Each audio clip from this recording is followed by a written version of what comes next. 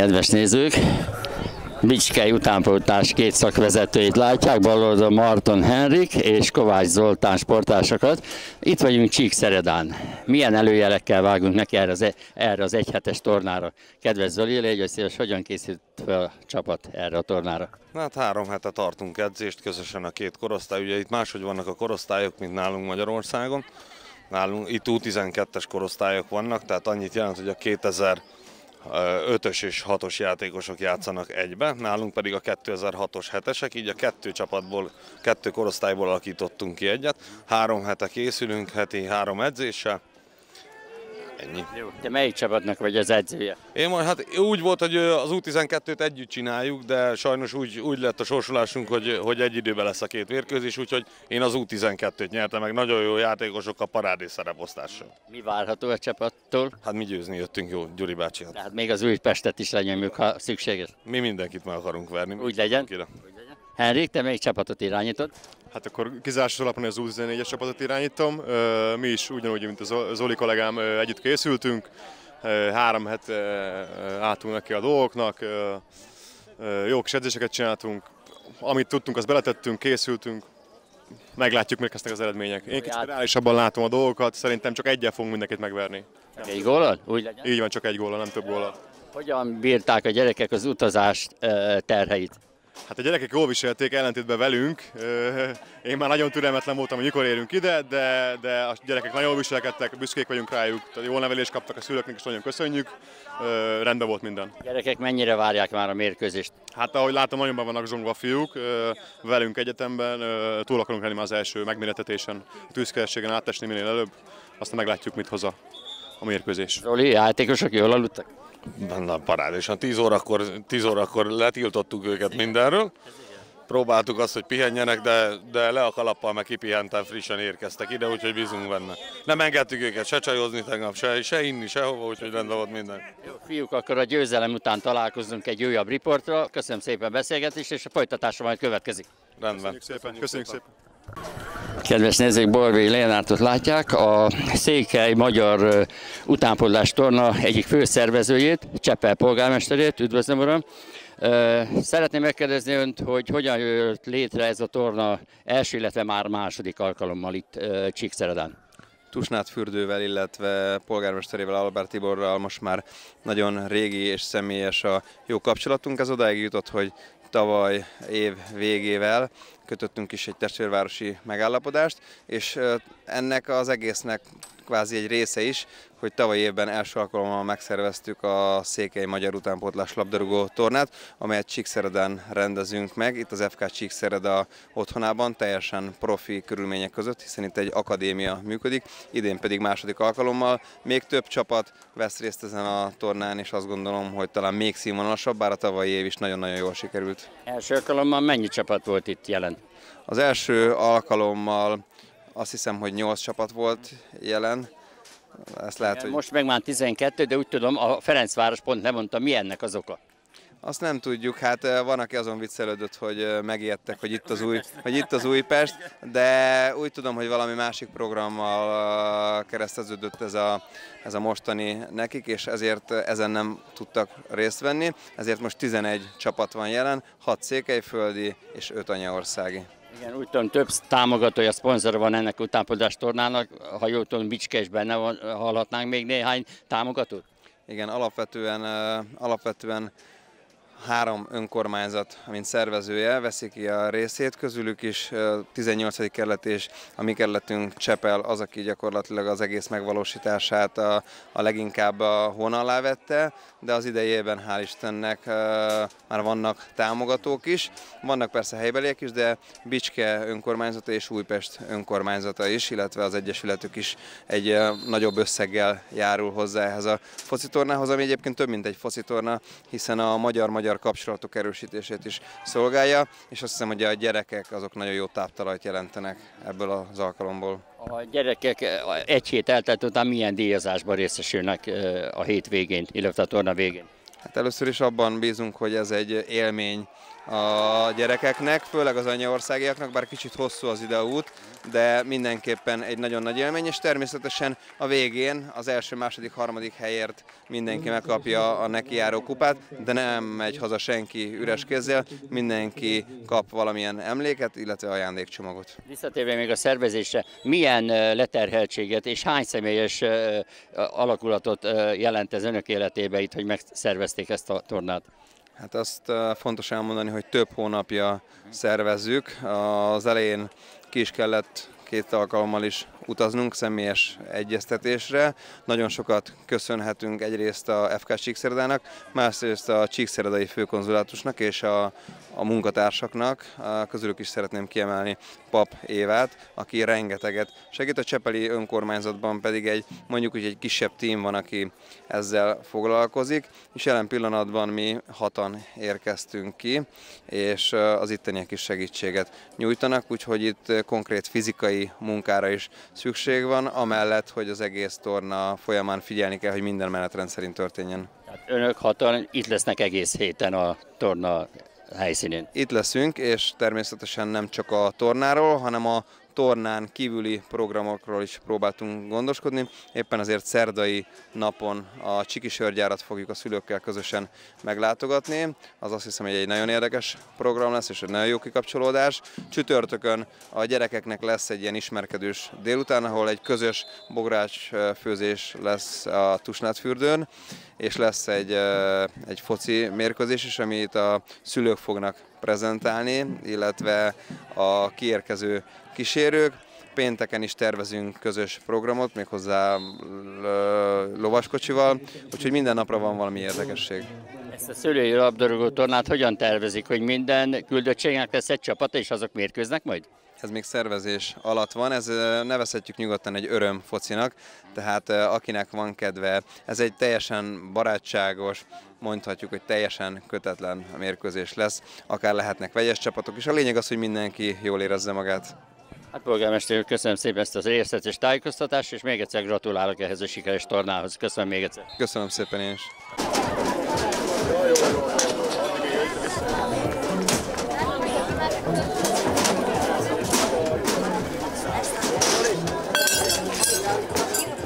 Egy néhány szót a mérkőzések szabályairól, a pályaméret 55 35 méter, kapuméret 5x2, büntető terület 9 méterrel alapvonaltól, a rugás az 9 méterről zajlik meg, méret 4-es, létszám a mérkőzésen 6 határrendű plusz kapusok. Kedves nézők, Kis Lászlót látják, a 80-as évek kiváló labdarúgóját, 33-szoros válogatott, vannak emlékezetes meccsei. Még mielőtt erről a tornáról beszélgetnénk, ezekről a régi szép emberegyes időszakokról tudnál néhány szót mondani, hogy hogyan alakult röviden a pályafutásod, és hogy kerültél a válogatottba, és a válogatottban milyen élményeid vannak? Hát ugye egy vidéki gyerek vagyok, egy pici településen születtem Kaposvár mellett. Taszáron, Kaposváron kezdtem el viszonylag későn futballozni. Ez azt jelenti, hogy majdnem 16 éves voltam, amikor először futballpályára léptem. Egy kicsit érdekes volt innentől kezdve a pályafutásom. Hamar az IFI-ben, és még hamarabb az MB2-ben találtam magamat. Majd ott felfigyeltek rám MB1-es csapatok, több mint 10 hívott. Akkoriban Pécset választottam majd, a PMSC kiesésével, de már NB1-es tapasztalattal újra Kaposváron találtam magamat, de újra NB1-ben egyébként. Majd az ő kiesésével 23 évesen, hát nevezzük így, hogy a, az én kedvenc csapatomat a nevelőegyesületen kívül a Vasas, Vasasnál voltam, és érdekes módon Vasasnál gyakorlatilag egy hónapon belül válogatott is lettem.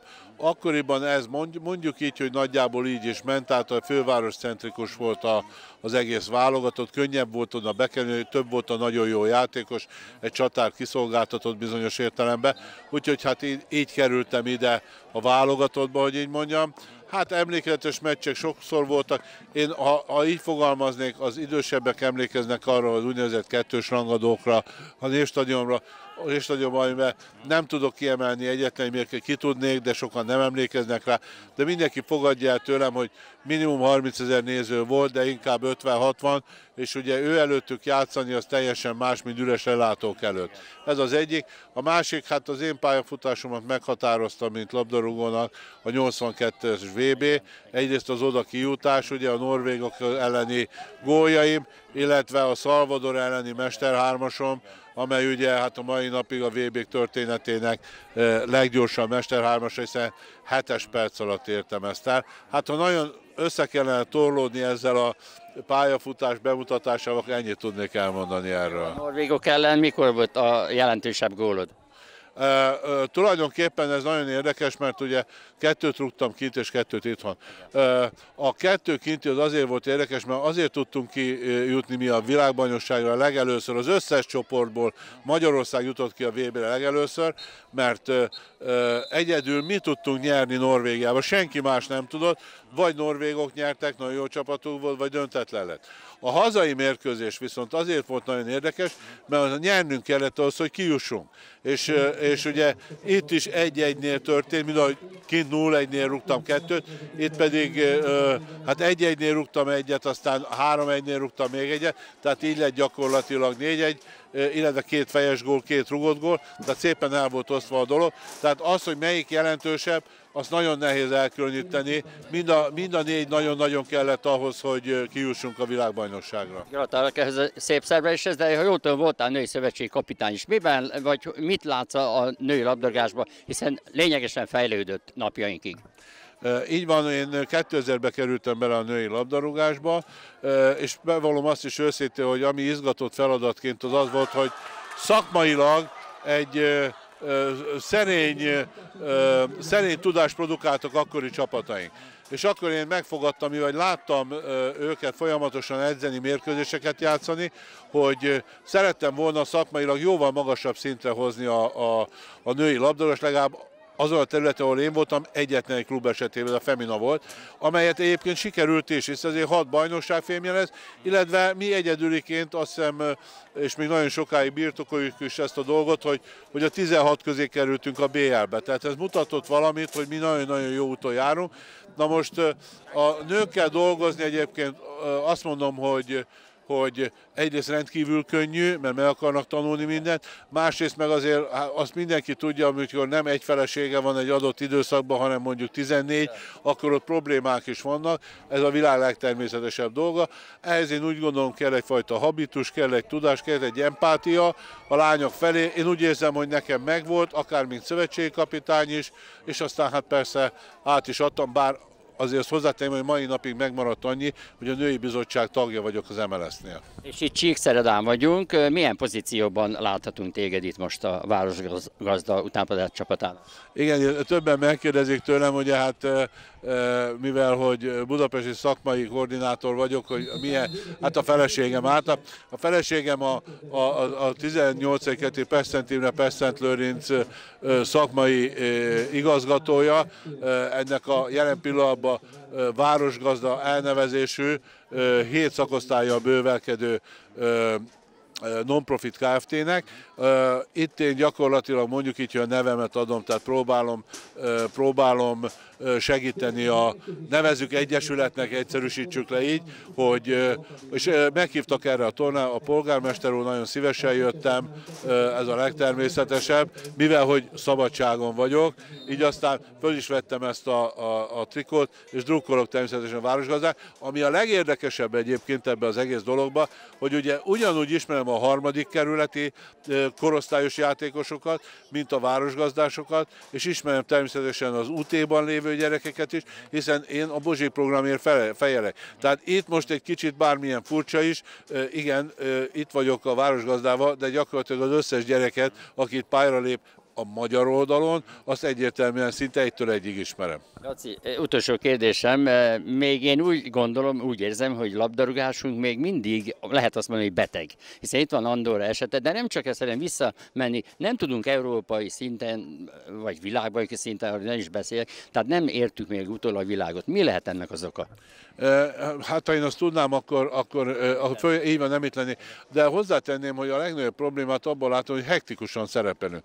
Tehát pontosan azt hiszem napra egy, egy évvel ezelőtti időszakban én is annyira belelkesedtem Franciaországba, hogy döbben, én ott vertem a levegőt, mint hogyha most is futballoznék. Családostól, hogy így mondjam, gyermekeimmel, feleségemmel. A másik oldal meg jön egy Andorra, de nem is csak Andorra, hanem jönnek itt az oroszok, úgy levernek bennünket, mint vaka poharat, tehát, tehát, és egy évvel ezelőtt meg tudtunk, most meg nem. Tehát, tehát valami, valami probléma folyamatosan van, ami, és hol ez jön belőle elő, hol az jön belőle. Ez meg kell mindenféleképpen szüntetni, egy valami tervszerűség, és én úgy gondolom, hogy a legnagyobb, nem azt mondom, hogy gond, hanem a, a, a legnagyobb előrelépést akkor tudnám produkálni, hogyha mindenki a saját területén ott szépen készítene egyfajta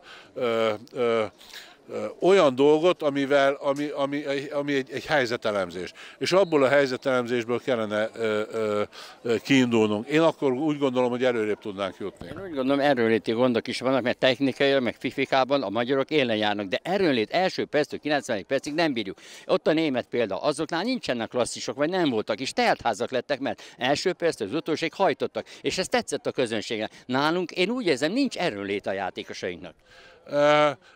Én, én különösebben erőléti problémákat nem vélek felfedezni. Én bármilyen furcsa, én, én, én tudásbeli problémákat viszont igen. Sőt, inkább másképp fogalmaznék, másképp fogalmaznék, inkább azt mondom, hogy, hogy azt kellene nekünk megoldani, hogy azokat a tehetségesnek vért labdarúgóinkat, akik akár ilyen korban is bizonyos tudással rendelkeznek, az, azokat hagyjuk, megerősítsük, és, a, és, és ne korlátozzuk le. Én azt veszem észre, hogy nagyon sokszor edzőjeink, utánpotlásról beszélek, lekorlátozzák a játékosokat, nem engedik a, a saját játékokat játszani a gyerekeknek, tehát a saját elképzeléseiket végigvinni, hanem ráerőltetik azt, amit nevezzük taktikai elemek sorának, amit egyébként ráérnének később is megtanulni, hiszen ebben semmi probléma. Ez egyébként más fordításban úgy hangzik, hogy ne hajkulásszuk az utánpótláskorba az eredményességet. Hát Laci, köszönöm szépen ezt a bemutatkozást, gratulálok a pályafutásodhoz, itt pedig csapatodnak sok sikert kívánok. Köszönöm, én pedig azért drukkolok minden csapatnak itt, mert minden, azért bármennyire is azért magyarok, azért a, a Csíkszarada és környékiek is magyarok. Lássunk jó focit mindenki részéről. Így van. Köszönöm szépen. Köszönöm szépen. Előtt láthattuk a két Bicske utánpótlás edzőt, majd Bordbély Lénárd, Budapest 21. kerület Csepel polgármesterének a szavait, akit hívhatunk ötletgazdának is, hiszen neki is köszönhetjük, hogy most itt vagyunk Bicskétől 800 km-re lévő Csíkszeredán, ahol csapataink már a második napi mérkőzéseket fogják lejátszani, de előtte néhány fontosabb tudnivaló a tornáról és magáról a lebonyolításról. Kék-sárgába csapatunk a Bicskei TC U14, ellenfél pedig zöld-feketébe játszó Marosvásárhelyi Hemesse 08.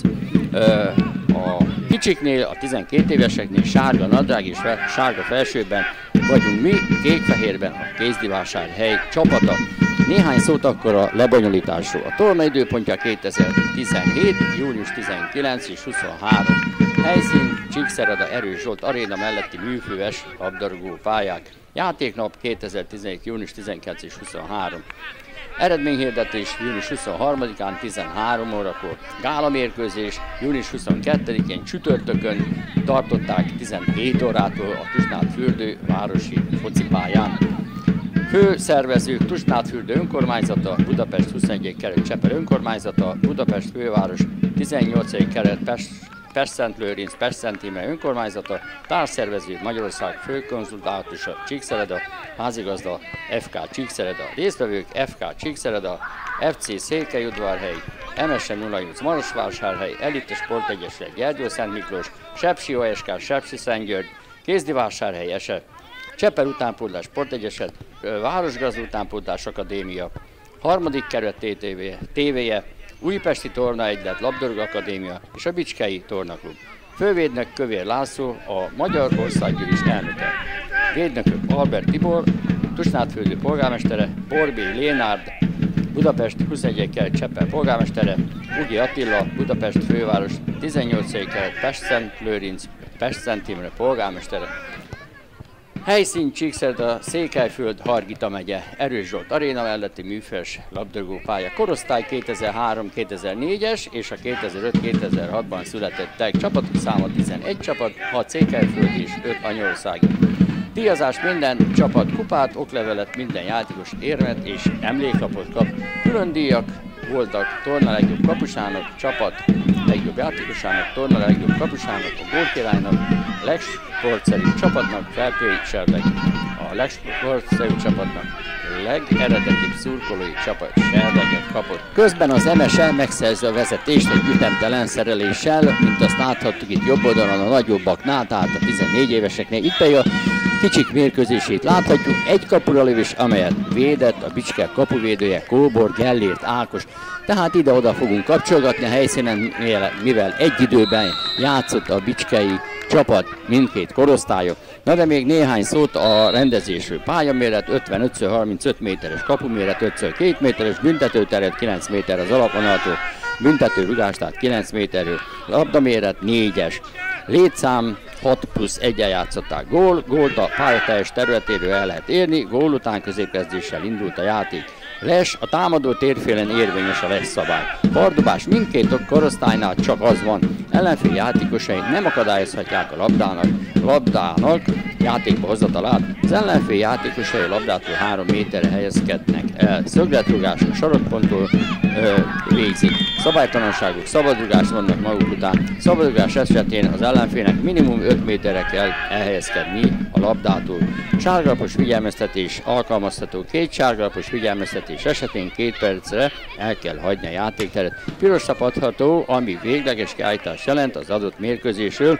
Piros lappal kiállított játékos az adott mérkőzés követő egy mérkőzésen nem szerepelhetett. Büntető, büntető területen 9 méteren belüli szabálytalanságok esetén büntető rugást következett büntetőpont a kapu közepétől 9 méter volt. Csere, cserélni folyamatosan lehetett, cserélni a játékosok kezet fognak egymással, lecserélt játékos bármikor visszacserélhető felszerelés a játékosok gumistopis cipőben vagy torna cipőben játszhattak. Éles topik cipőben tilos volt játszani, messzámozás, kötelező, speciális szabály a kapus a labdát sem a játék közben, sem a labda újból játékba hozatala során nem továbbíthatja közvetlenül érintés nélkül az ellenfél térfelére. Ha ezt megteszi, akkor az ellenfél a félpálya vonalától közvetett szabadulással folytathatja a játékot. Helyezések eh, összpontszámok szerint rangsor alapján kerülnek meghatározás. Azonos pontszám esetén a sorrendet az alábbiak szerint kell megállapítani.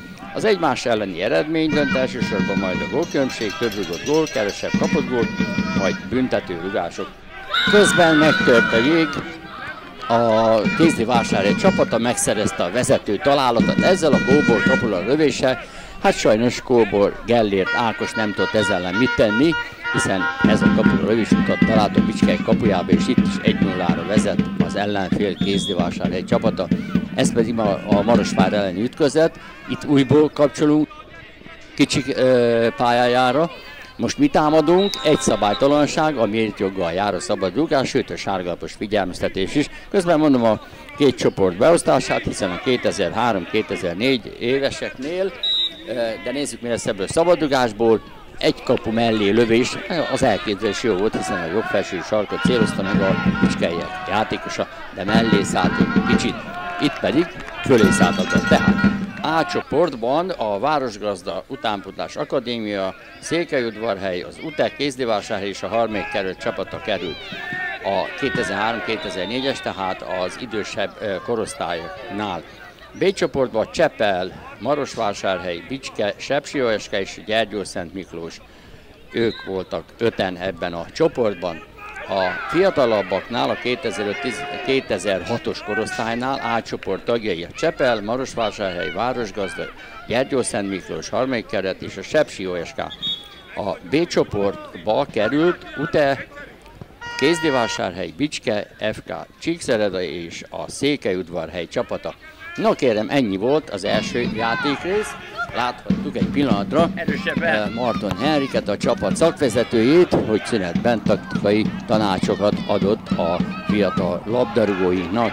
Na nézzük akkor, mi lesz ebből a bicskei lendületes támadásból, hiszen támadunk, támadnak a fiatalok, megpróbálnak szépíteni, itt pedig már a nagyobb versenyén vagyunk, a 14 éveseknél, Nagy Martin ellen, szabálytalankodnak egy kicsit, de a játékvezető hagyja tovább menni, ott az ittszer védőink szerelnek, és végig is kiváltuk labdát. Itt pedig Popovics védett remekül.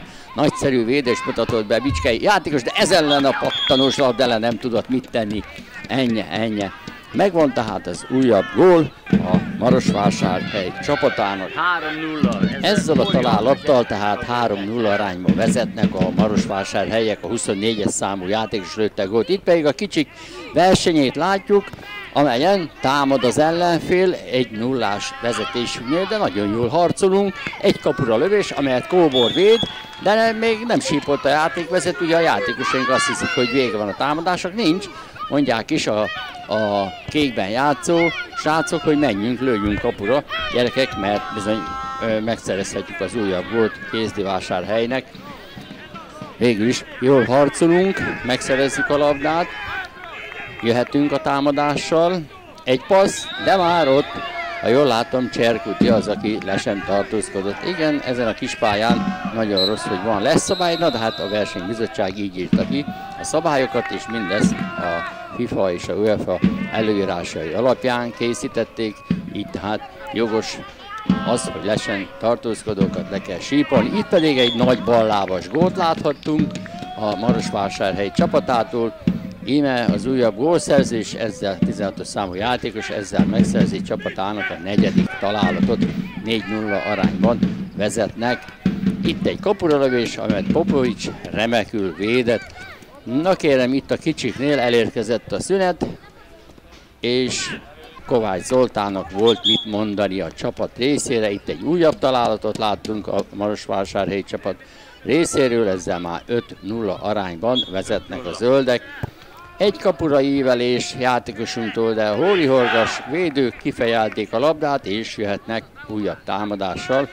5 gólos vezetésük birtokában. Hát bizony nem, hogy egy fejjel talán még kettővel is lehet nevezni, hogy nagyobbak ezek a Marosvásárhelyi labdarúgók játékosainknál, na de nem kell tőlük megijedni, nyugodtan kell passzolni, játszani, játszani azt, amit tudnak a bicskei srácok, és akkor talán meg lesz az eredménye.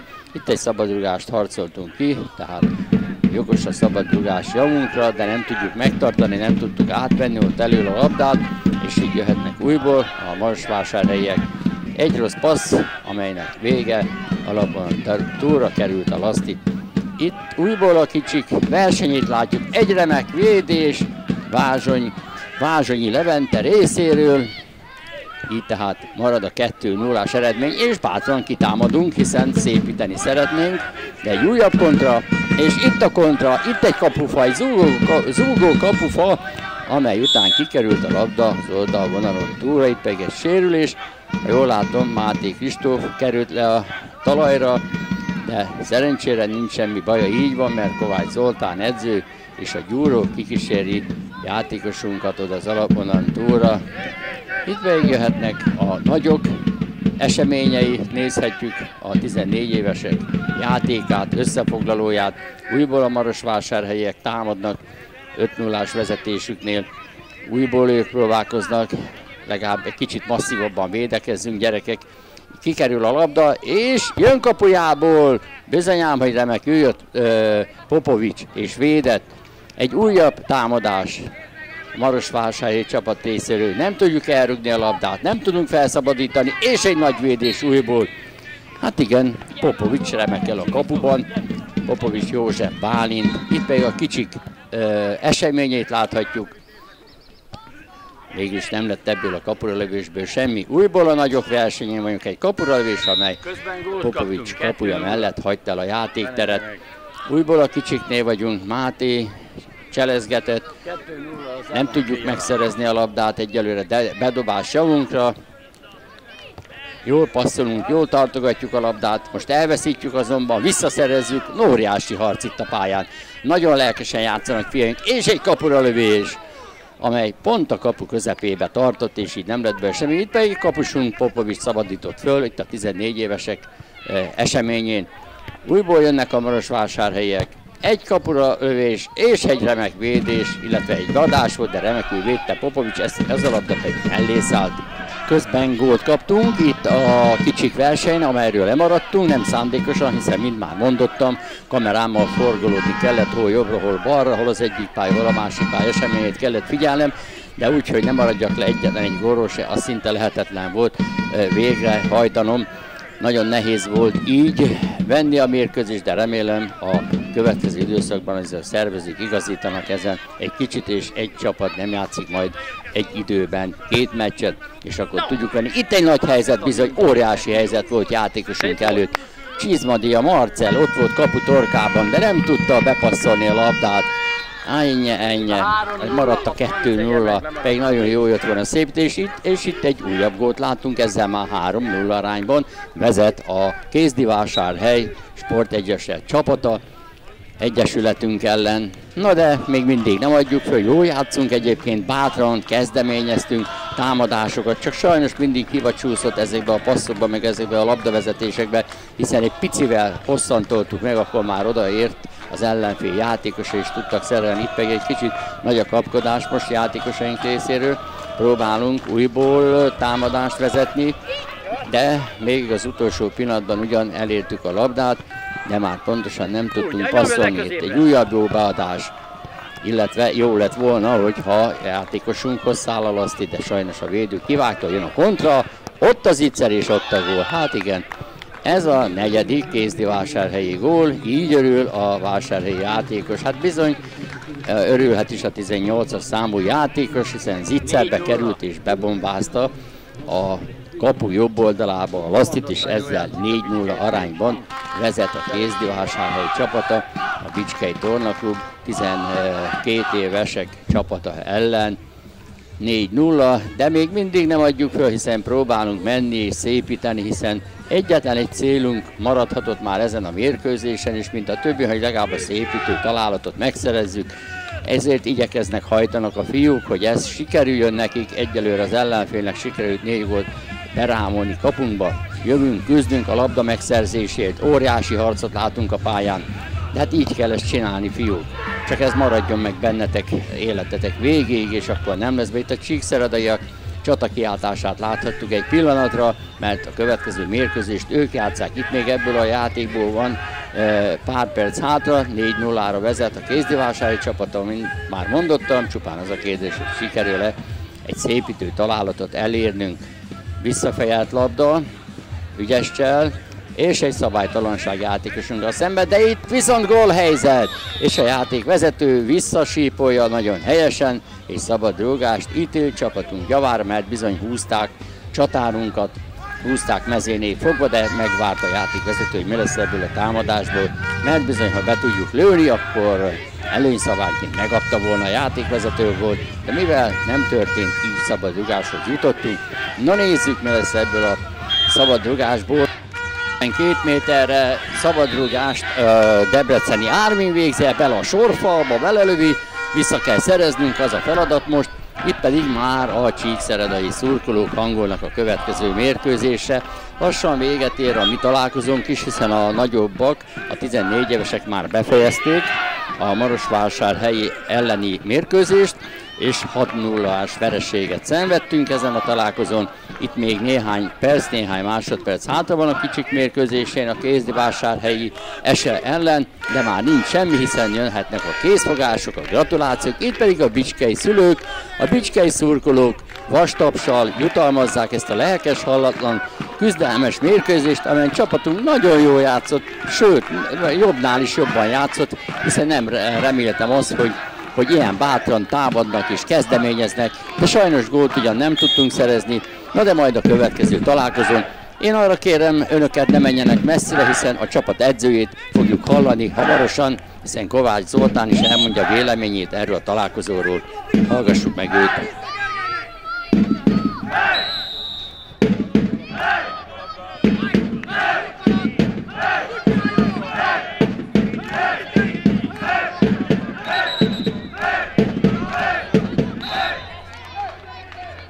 Gratulálok a csapat játékához. Kikaptunk ugye 4-0-ra. Te hogyan értékeled ezt a mérkőzést? Hát sajnos itt a szerencsefaktor, ami, ami nem velünk volt ezen a mérkőzésen. Nagyon sok helyzetünk volt. Egyszerűen nem volt szerencséje a srácoknak, nem tudtuk, nem tudtuk kihasználni azokat a helyzeteket, amik adódottak a mérkőzés folyamán. Én azt gondolom, hogy, hogy, hogy egy kicsit egy, egy, kicsit, egy kicsi szerencsénk van, akkor egész más lehetett volna ennek a mérkőzésnek a végeredménye. Igen, szerintem is két egyenlő képességű csapat játszott egymás ellen. 0-0-nál voltak számtalan helyzeteink, amit ha berugunk, akkor lehet, hogy fordított az eredmény. Így van, én is így láttam, de hát följebb kellett tolnunk az egész védelmünket, illetve az egész csapatot. Letámadásra játszottunk, és sajnos benne van, ebbe, ebbe a játékban benne van az, hogy megkontráznak. Sajnos nekik sikerült ez a négy kontra, nem értünk oda, és ennyi történt a mérkőzésen. Büsz, büszke vagyok a srácokra nagyon, mert megtettek mindent. Tehát itt ugye nem volt egy könnyű mérkőzés, itt a mérkőzés után is lehiggasztani a srácokat, mert itt sírás volt, tömkelege, morgás, dünnyögés. Én szeretem, ha így játszik a csapat, és szeretem, hogy ennyire nyerni akarnak a gyerekek, úgyhogy le a kalappal előttük. Szerintem is nagyon elszántán játszottak, és betartották azt a taktika utasítást, amit adtál a mérkőzés előtt, de mégis mi hiányzott ebből a győzelemből? Ez, a gólszerzés. A gólszerzés, de sajnos ezt a játékot erre játszuk. Igen, nem majd legközelebb akarunk. Reméljük, igen, bízunk benne, bízunk benne. Úgy legyen. Igen, igen, igen. Hát a srácok meg fognak tenni érte mindent, ebben biztos vagyok. Gratulálok még egyszer csapat. Köszönjük szépen. Egy bemutatkozást kérek. Szigeti Gyula. Szigeti Gyula vagy, kis csapat tagja. Jó. Pető Bence. Milyen? Pető Bence. Pető Bence, te meg a nagy csapat tagja. Gyertek ide ti is. Gyertek ide. E, jó játszottatok, gratulálok először is a kicsiknek, hiszen mennyire kaptatok ki? 4-0. 4-0-ra, de 0-0-nál számtalan helyzetet hagytatok ki. Hogyan volt ez? Hát, ö, hát úgy, hogy minket, ö, hát, Igen? szabálytalankodtak, hát, Nem szabálytalankodott, hanem én úgy láttam, hogy a gólhelyzetek sokaságát hagytátok ki. Egy passzal többet csináltatok, egy csele többet csináltatok, és nem ment be a helyzet, nem lett gól belőle. Így volt? igen. Igen, de még, mégis nyerő meccs volt, egyenlő ellenfelek voltatok a másikkal, és mégis kikaptatok 4-0-ra. Hogyan volt ez? Te szerinted? Te Hát- szerinted mi okozta a vereséget? Szerintem az összjáték. Összjáték? Többet kellett volna passzolni? Hát szerintem igen. Igen. Nagyon ügyesek, nagyon ügyesek voltatok egyébként, gratulálok, hiszen partiba voltatok az ellenféle, közel volt a győzelem, 0-0-nál mond, még egyszer, mondom, ha ti rúgjátok az első gólt, lehet, hogy megvan a meccs. Hát igen, Így van? igen. Jó. A nagyok meccsein mi lett az eredmény? 6-0. 6 0 kikaptatok. Ti veletek mi volt? Hát mi se, mi se passzoltunk meg, egy fejjel magasabbak is voltak, szóval hát nem volt nagyon esélyünk. Legközelebb ne jegyetek meg, hogy egy fejjel vagy két fejjel magasabbak a, a, a játékosok, nem számít semmit. Kicsik vagytok, gyorsak vagytok, apró területűek vagytok, jól játszatok, több passz kellett volna, és a labdát le kell fedezni, nem kell az ellenfelet odahagyni a labdához, oké? Okay? Oké. Okay. Jó. Te miben látod a vereségokat? Hát e, szerintem én is ugyanezben, mivel fizikailag nagyobbak voltak, meg erősebbek. Jó. Semmi baj, egyébként gratulálok, nek ti is jól játszottatok, jól küzdöttetek, de tényleg a fizikális különbség meglátszott a két csapat között. Legközelebbi mérkőzésen még elszántabbak lesztek és még jobbak? Ígérjétek meg? Igen. Igen. Igen. Igen, igen, És győzünk, győzni fogunk. igen. Igen. Köszönöm szépen. Gratulálok. Na, három, négy és Bicske, gyerünk, hajrá. Kiabálok. Bicske! Így van. Oké.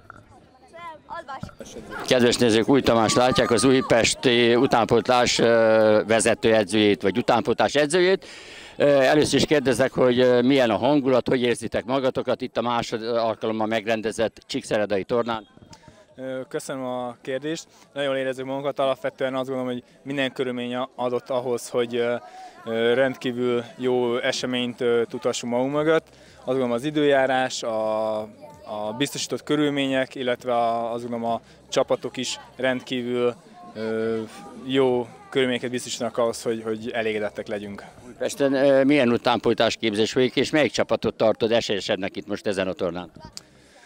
Alapvetően maga az utánpótlásunk, én azt gondolom, hogy nagyon jó úton jár. Két éve jött hozzánk új szakmai igazgató, a Forján Zsolt szemében. Én azt gondolom, hogy Magyarország egyik legjobb utánpótlás nevelő szakembere. Alapvetően ugye itt most két-két korosztály vegyesen vesz részt. Azt gondolom, hogy a 2006-os, tehát az U11, U12-es korosztály vegyes csapatot, a kisebb korosztályuk azt gondolom, hogy most esélyesebbek, viszont azt gondolom, hogy nem kell érni az idősebb csapatunkat se. Vagy milyen eredménye zártatok itt ezen a tornán? Tavaly ugye hasonlóan ugyanígy két-két korosztályból voltak vegyesen csapatok, akkor a kisebb korosztály az második helyen végzett, ugye a hazai Csíkszerda csapata mögött, még a nagyobb korosztály az negyedik helyen, ugye rosszabb gólkülönbséggel a negyedik, negyedik volt. Végülis most melyik a kisebbik csoportot tartod esélyesebbnek ezen a torán? Igen, igen. Ez... Hova várod konkrétan? Én mindenképpen az első háromba, aztán majd meglátjuk, hogy mire. Úgy legyen, Tamás, köszönöm szépen, én egy sok sikert nektek. Nagyon szépen köszönöm, minden jót nektek is. Kedves nézők, német Pilit látják, egyik legnagyobb tehetséget. Ő ugyanis itt kezdte az úszást Bicskén, és országos diákolimpiai döntőbe jutott kétszer. Gratulálok Lili ehhez a nagy sikerhez, de hogyan kezdette az úszást, mikor emlékszel vissza? Hány évesen kezdted, és melyik uszodában? Én Budapesten kezdtem, talán három éves voltam, ilyen babaúszásra jártunk Pista bácsihoz. Melyik Pista bácsihoz? Um, igen. Barbara Pista bácsihoz jártál, még Pesten? Igen. Igen. És hogyan emlékszel vissza a Miskolci ö, olimpia döntőjére, hiszen ott harmadik lettél. Nem lehettél volna esetleg másik vagy első? Erős volt a mezőny? Hát igen, erős volt. Szerintem lehettem volna jobb is, de hát így jött össze. És most tavaly Debrecenben volt, ha jöttem a országos döntő, és ott második lettél. Mennyivel maradtál az első helyzettől? Hát ő is leigazolt volt, ő ugye megengedték, hogy triatlonosok és vízilabdások úszanak, és ő le volt igazolva, hát ezért két másodpercen megnyerte. Az elég sok volt. Nagyszerű. Ö, tehát mennyit úszol naponta, hiszen ezért a sikerért sokat kell dolgoznod. Most jelenleg mennyit úszol, és hol edzel, melyik oszodában?